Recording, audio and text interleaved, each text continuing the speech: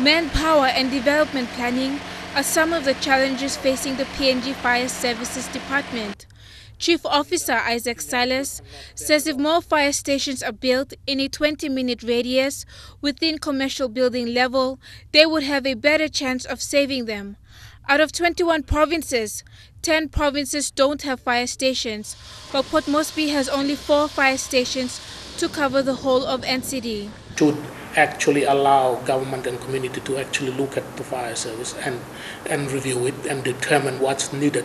Then they can then own uh, be part of the ownership of that and make resources available. Right now, what we're saying uh, is not being responded to positively, and I'm being very diplomatic.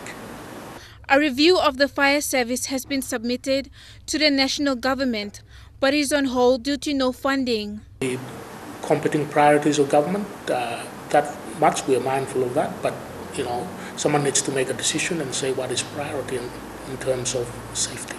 Since May, there have been four major fires in the nation's capital, with the most recent being a major supermarket branch, which is currently under investigations. Marilyn Diaukatam, National, EMTV News.